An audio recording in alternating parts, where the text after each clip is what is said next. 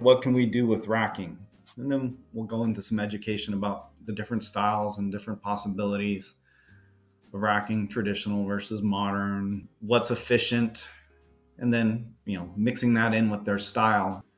And then we start playing around with some designs. We usually do some drafts to see where we're at, see if we're capturing the vision that the client has. And that is actually kind of the easiest one. Then we just, once we know their style and we know what we got to work with, we just start drawing in racking. And so we spend a good amount of time trying to figure out the style. What is the goal? How many bottles? We kind of educate at the same time we're trying to get educated from them on what they're looking for.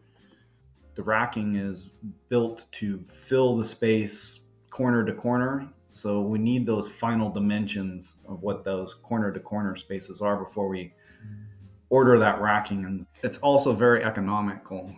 It's a way to make a great looking cellar on a budget, especially if you've if you made a cooled space, you've already spent a lot of money on creating that cooled space because it's basically just an igloo cooler and the cooling unit. Then the VintageView is a great way to not spend too much on the racking, but have a really pleasing racking and it's just very functional. It's just really easy to access. It displays the wine really nicely. It's very popular. It really helps clients that are working on a budget. We've done some where they do have some racking in them. It's not really important anymore when you're just trying to store wine and you need access to it a lot of restaurants will have a display cellar, which is smaller, usually you know mostly for marketing purposes, and then in the back they'll have another just storage cellar where it's just wine stacked up floor to ceiling in a cooled space. So it's ready for service. They can access it and get it, and it's already cooled, ready for service.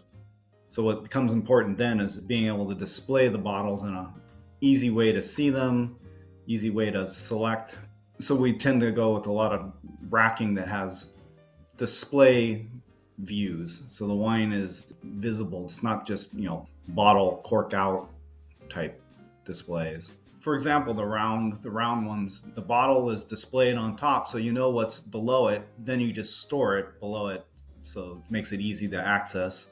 And these are very popular. We always we do these round, we do them you know, square and rectangular a display row at the top and then bulk storage kind of underneath of what you know what's being sold.